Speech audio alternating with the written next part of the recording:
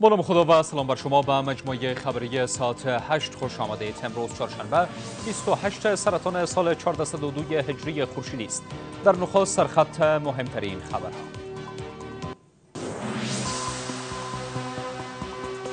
مواد منفجر ناشده تهدید اصلی بر جان کودکان در افغانستان. کمیته صلیب سرخ می‌گوید در 13 ماه گذشته 640 کودک کشته و یا زخمی شدند در جریان 16 ماه گذشته 640 کودک در 541 حادثه کشته یا زخمی شدند. آمار کشته شدگان و زخمیان تفکیک نشده است. این سازمان افزوده است که این آمار 60 در افغانستان در قهر جدول ردبندی پاسپورت در جهان پاسپورت افغانستان بار دیگر به عنوان ضعیفترین پاسپورت در جهان شناخته شد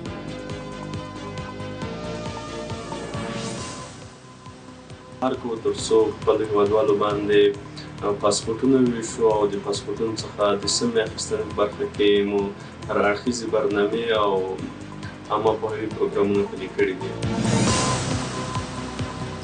همزمان با افزایش حملات راکتی روسیه بر اوکراین وزیر خارجه اوکراین برای گفتگو با مقامهای پاکستانی به اسلام آباد سفر می‌کند.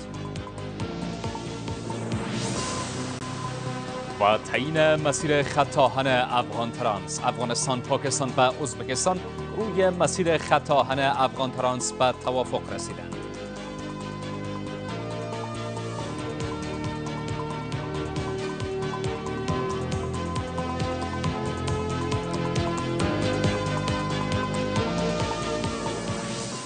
مشروع خبرها من داریوش احمدی هستم.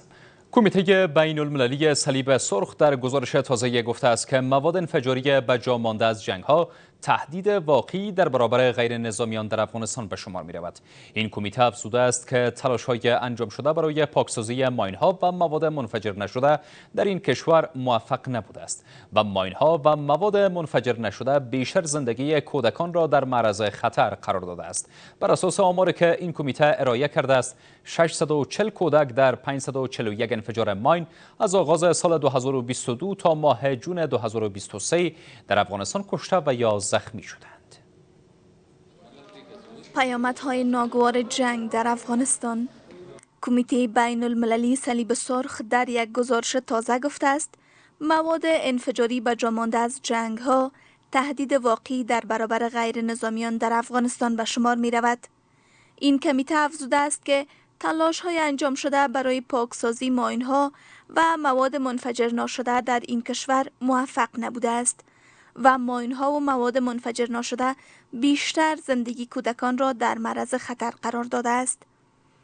بر اساس آماری که این کمیته ارائه کرده است 640 کودک در 541 انفجار ماین از آغاز سال 2022 تا ماه جون 2023 در افغانستان کشته و یا زخمی شدند. در جریان 16 ماه گذشته 640 کودک در 541 حادثه کشته یا زخمی شدند. آمار کشته شدگان و زخمیان تفکیک نشده است. این سازمان افزوده است که این آمار 60 درصد از مجموع تلفات غیر نظامیان را در این کشور تشکیل می دهد. صلیب سرخ همچنان مواد منفجر ناشده و سلاحهای باقی مانده از جنگ را تهدید واقعی و دائمی برای غیر نظامیان در کشور خوانده است. گزارش کمیته بین المللی صلیب سرخ آمار کودکانی که از اثر انفجار ماین و مواد انفجاری باقی مانده از جنگ جان خود را از دست دادند 60 درصد خوانده است. ما به اثر ماین پای از دست دادم ما زمانی در, رسوف بودیم وقتا ما خورد بودم تقریبا سه سالیم بود. به اثر انفجار ماین ما پای از دست دادیم. ما در کوه می رفتیم و مال می چراندیم که یک وقت در حین مال چراندن یه بگ بارگی ما این انفجار کرد و ما متاسفانه پای چپ از دست دادم همچنان کمیته بین المللی صلیب سرخ در این گزارش توضیح داده که با تسلط مجدد امارت اسلامی در افغانستان بسیاری از دولتها و سازمانهای کمک کننده نیز کمک مالی خود را در زمینه ماین روبی قطع کردند. این سازمان با تاکید بر نیاز فوری به های بیشتر در زمینه ماین روبی خواستار رسیدگی به آلودگی تسهیلاتی شده است. متاسفانه کودکان افغانستان یکی دیگر از اخشار به شدت آسیب پذیر در اجتماع افغانستان هستند که خصوصا در نزدیک به دو سال گذشته کوچکترین گام عملی مسمر جهت بهبودشان صورت نگرفته و این یک نگرانی جدی هست. امیدوار هستیم که جمع حاکم در افغانستان با در نظر داشت این که کودکان افغانستان از جمله اخشار به شدت آسیب پذیر خصوصا در باب ماین های انفجار ناشده هستند از گام های عملی با برنامه های مدون به تخصصی بتانه حمایت بکنند. طبق گزارش این سازمان پس از حاکمیت امارت اسلامی مرگ و میر ناشی از مواد طبیعه شده افزایش یافته است. صلیب سرخ گفته است که کودکان در معرض صدمه های کشنده قرار دارند. در همین حال دفتر ماهنگ کننده کمک های بشردوستانه سازمان ملل گفته از نظر وجود و پخش مواد منفجره افغانستان آلوده ترین کشور جهان است. با گفته این سازمان برای پاکسازی ماین در افغانستان حدود 18 میلیون دلار نیاز است. افغانستان، پاکستان و ازبکستان روی مسیر خط آهن افغان ترانس به توافق رسیدند. این توافقنامه میان مسئولان بلندپایه سه کشور در اسلام آباد به امضا رسید. این خط آهن آسیای مرکزی را از طریق افغانستان به جنوب آسیا وصل می کند و از ازبکستان آغاز و پس از عبور از ولایت بلخ از طریق منطقه خرلوچی پکتیا به پاکستان متصل خواهد شد.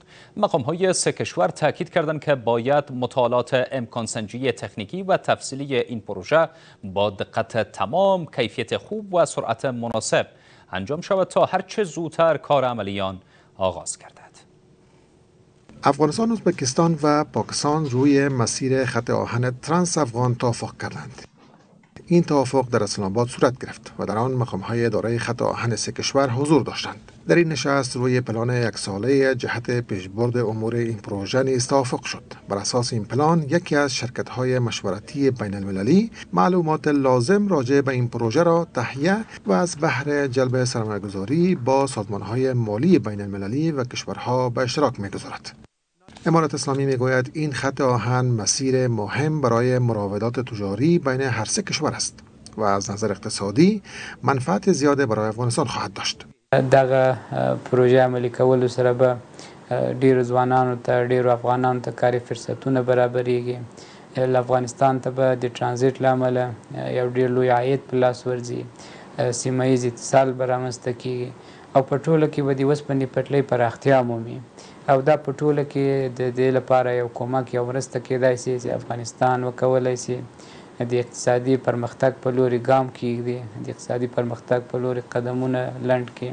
او ان شاء الله تمه لرو چې د دې پروژې چارې ژر تر ژره پیل شي.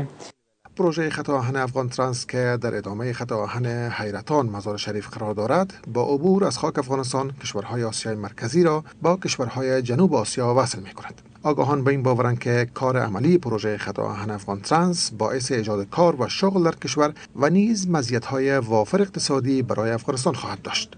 پروژه های خط آهن در کل اگر در افغانستان ایجاد شود و عملی شود می‌تونه که به گونه بالقوه در قسمت انکشاف اقتصادی افغانستان کمک کنه و به گونه بالقوه باعث افزایش شغل و اشتغال زایی در افغانستان شود همیده که پروژه تاپی نشد تکمیل شد بالاخره کار عملی زیر ما ما نتونستیم واضح مفاد به کشورهای منطقه ببینیم.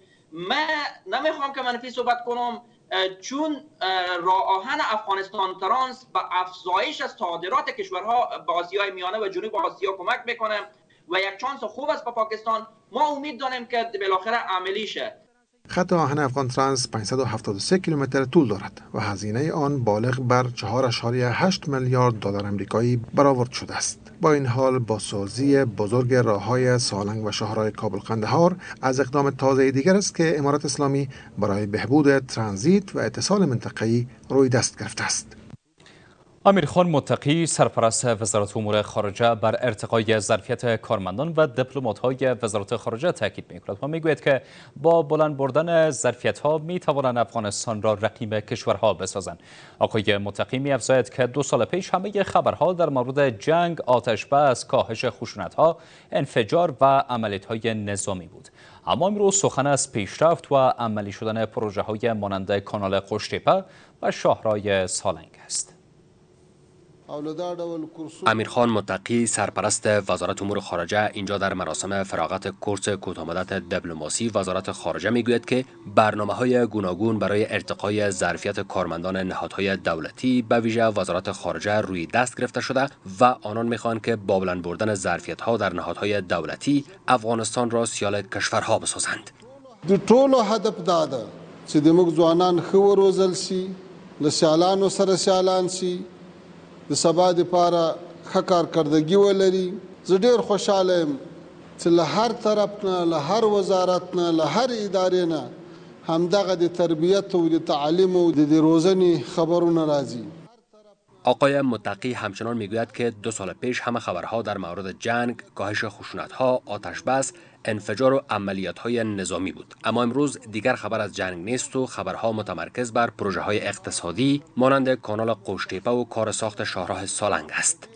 نزدې دو کال مخکې هغه به د خبر و هغه به اورکم خبر و هغه به انفجار خبر و هغه به د بمبار خبر و هغه به د چاپې خبر و هغه به د شهیدانو خبر و هغه به د زخمیانو خبر و هغه به هغه به د اشغالګرو خبر چې د پلانې هیواد دومره عسكر افغانستان ته راورسېدل د پلانې هیواد دومره راورسېدل خو نن الحمدلله ثم الحمدلله موږ تاسې د آبادی خبرونه اورو آقای متقی همچنان می‌گوید که هیچ کس تصور امنیت کنونی را نمی کرد. بر اساس آمارهای سازمان ملل هم خشونت ها در افغانستان به گونه بیپیشینه در کشور کاهش یافته است. اما نگرانی های هم از تقویت یافتن گروه داعش وجود دارد هرچند که امارت اسلامی می‌گوید این گروه سرکوب شده است.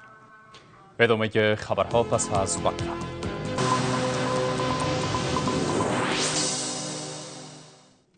ادامه خبرها. پاسپورت افغانستان بار دیگر به عنوان ضعیفترین پاسپورت در جهان شناخته شد. در تازه ترین رتبه بندی جهانی شاخص پاسپورت که توسط مؤسسه هنلی انجام شده افغانستان در سال 2023 ضعیفترین پاسپورت جهان را دارد. این مؤسسه افزوده که پاسپورت سنگاپور مقام اول را در جهان دارد و شهروندان این کشور می توانند بدون نیاز به ویزا به 192 کشور جهان سفر کنند. سه کشور آلمان، ایتالیا و اسپانیا به گونه مشترک در رده دوم این ردبندی قرار گرفتند. ردبندی جهانی شاخص پاسپورت در سال 2023 پاسپورت افغانستان اما بار دیگر در قهر جدول این ردبندی قرار گرفته و ضعیفترین پاسپورت در دنیا شناخته شده است. مؤسسه هنلی که این ردبندی را انجام داده است می‌گوید پاسپورت سنگاپور مقام اول را در جهان دارد و شهروندان این کشور می توانند بدون نیاز به عقص ویزا به 192 کشور جهان سفر کنند.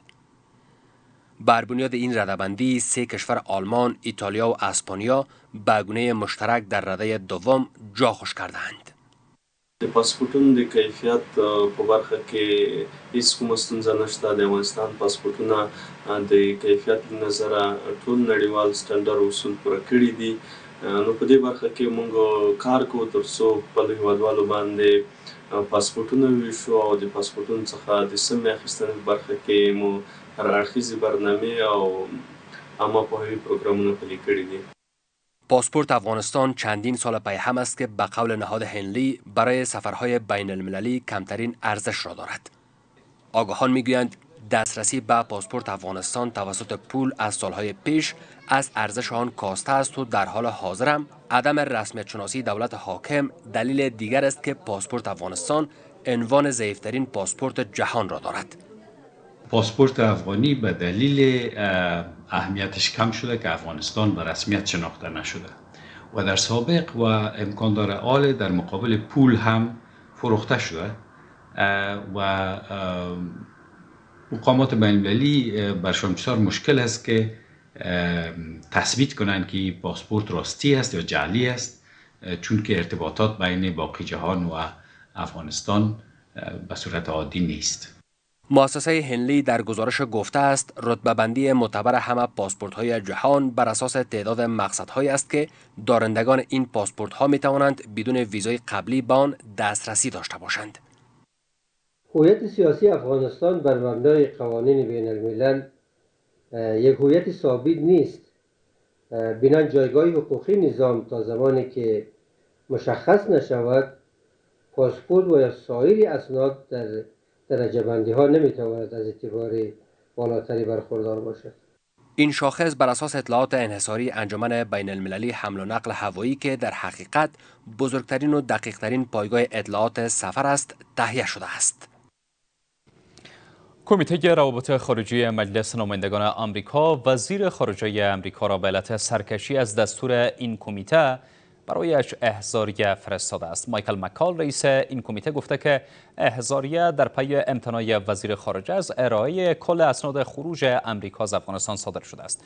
مکال می‌گوید با بررسی تمام اسناد مربوط به خروج در پی شفافیت و پاسخگویی حکومت بایدن به مردم آمریکا در مورد خروج شتاب زده نیروها از افغانستان است. کاخ سفید و وزارت خارجه اما می‌گویند که گزارش بررسی خروج نیروهای آمریکایی از افغانستان را منتشر کرده و اسناد کامل را به طور خصوصی در اختیار کانگرس قرار داده. و نسخه محرمانه آن در فضای عمومی انتشار نخواهد یافت.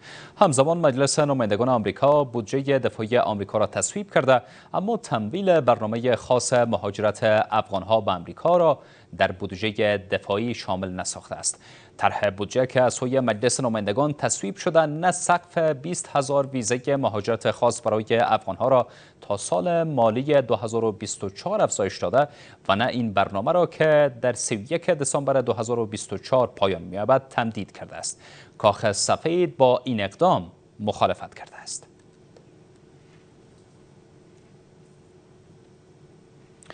مسئولان در اداره تنظیم خدمات مخابراتی افغانستان یا اترا می‌گویند که پس از این متقاضیان هنگامی که سیم کارت خریداری می‌کنند تذکره الکترونیکی و یا پاسپورت با خود داشته باشند. زیرا سیم کارت با تذکره های کاغذی ثبت و راجستر نخواهد شد.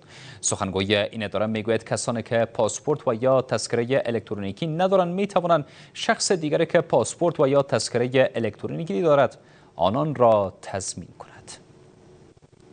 بر اساس پیشنهاد اداره اطرا و وزارت مخابرات کابینه امارات اسلامی طرح را تایید کرده است که در روند خریداری سیم کارت تغییرات آمده و کسانی که پس از این می‌خواهند سیم کارت خریداری کنند هنگام ثبت و راجستر آن باید تذکره الکترونیکی و یا هم پاسپورت با خود داشته باشند.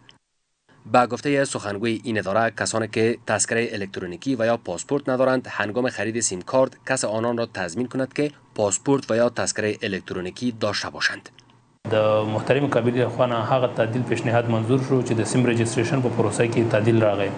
د دې تعدیل په اساس باندې که څوک غواړي چې سیم کارت واخلي باید الکترونیکی تذکره یا پاسپورت ولري او که څوک خپل پاسپورت یا الکترونیکی تذکره نه لري کاغذ تذکره وي ورسره هغه بیا باید یو نفر داسې حاضر کړي د سیم کارت اخیستلو په وخت کې چې هغه الکترونیکی تذکره یا پاسپورت ولري با گفته آقای شمس هرچند که این سیستم مشکلات را به بار می آورد به ویژه در ولایت ها اما شرکت های مخابراتی مکلف هستند تا به خاطر اینکه از ثبت نشدن سیم کارت ها جلوگیری شود این طرح را عملی سازند. زیرا تذکره های کاغذی از اعتبار چندان برخوردار نیست و امکان تقلب در آن وجود دارد. ټول مخابراتي شرکتونه مکلف دي چې د دې پریکړې په اساس پس لدی ټول مخابرات سیم کارتونه باید الکترونیکی تذکره باندې ثبت کړي او الکترونیکی تذکره یو نفر سره نوي نو دوی کولای شي چې یو داسې ضامن پیدا کړي خپل چې هغه د دوی د هویت تثبیت وکړي او هغه الکترونیکی تذکره ولري. شهروندان کشور اما میگویند که حکومت باید تسهیلات را در بخش ثبت سیم کارت ها به وجود آورد زیرا گرفتن تذکره و یا پاسپورت زمانگیر و هزینه بردار است. از این رو آنان در گرفتن سیم کارت با مشکلات مواجه هستند دولت د باید د شرکتونو سره دا خبره وکړي چې موږ ته اسانتیا برابر شي او موږ ته باید سیم کارت او موږ زموږ وس نه رسیږي چې موږ الکترونیکی تذکرې ځان ته واخلو هغه باندې مصرف راځي. او بعد د خپل منځو کې د کین خپل دا مشکل حل کی او موږ ته د اسانتیا برابر شرکت مخابراتی قانونی که وضع کرده قانون بسیار عالیه. از نظر شخصی ما آدم چرا به خاطر که از جلوی سرقت های سیم کارت گرفته میشه و طرف می‌تونه بسیار آسانی هم سیم کارت خود پس بگیرد. بعض اینا تا حال برای تذکره الکترونیکی نرفتن. اینا کاغذی دارن. خب الان مرتکه تاماسه باشه برای تذکره الکترونیکی بگیره. خیلی طول می‌کشه خیلی دیر میشه. این در حال است که در گذشته سیم کارت های وافر در بازارها به فروش می رسید بدون اینکه ثبت و راجستر شوند. اما پس از حاکمیت امارات اسلامی این روند قانونی شد و کسی نمی‌تواند بدون ثبت و راجستر سیم کارت خریداری کند. ادامه که خبرها پس از وقفه.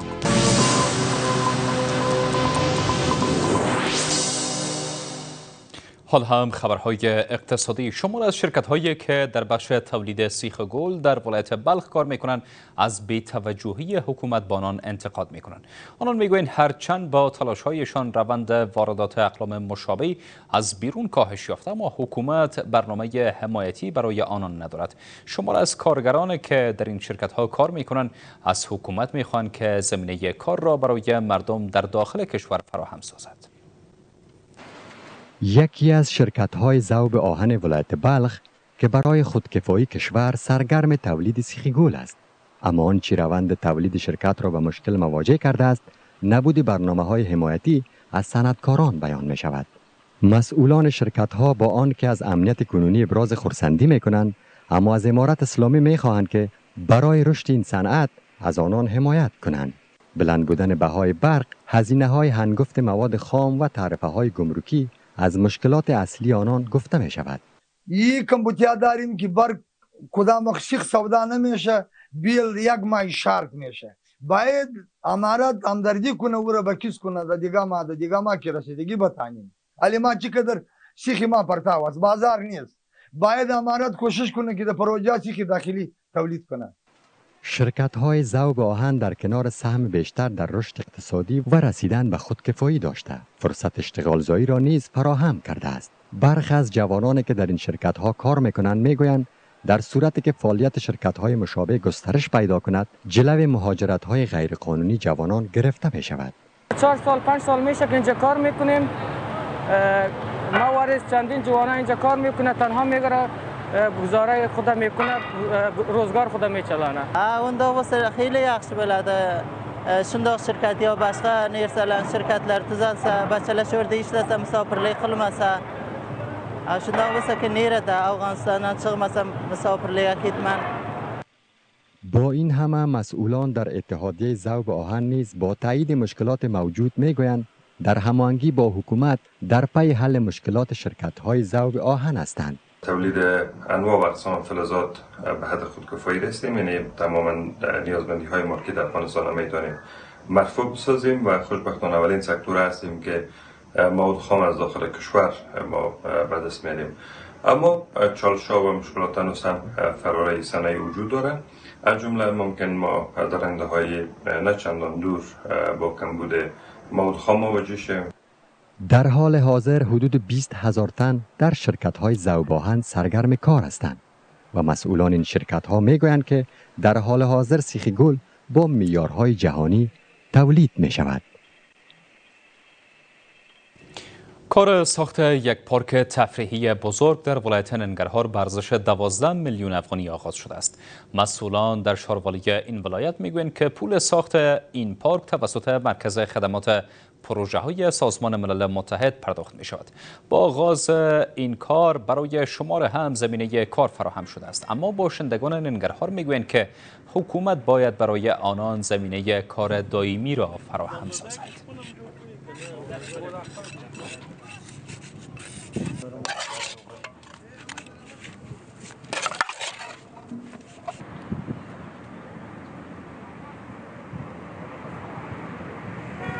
او خیر اوس لږ شرټ واخلو. کوم پار چې موږ تاسو په کې موقعیت لرو دا د نهمې ناحیې د کابل کیم ساحه ده چې په وجریبونو کې جوړیږي د یوناپس همکاري مؤسسې لخوا چې 12 میلیون افغانۍ ور باندې لګښت راځي او د ورځې پکې 200 بيوزله کارګرو ته د کار زمينه برابر شوې ده. چارې تر دې دمه اتیا فیصد په مختلف دي شل فیصد ان شاء الله په نږدې راتلونکي کې تکمیل او د خلکو پر مخ پرانستل شي نرخ ارزها.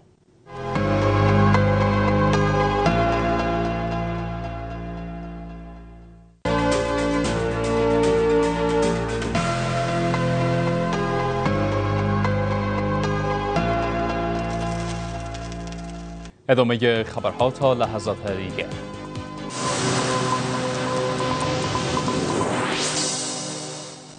ادامه خبرها.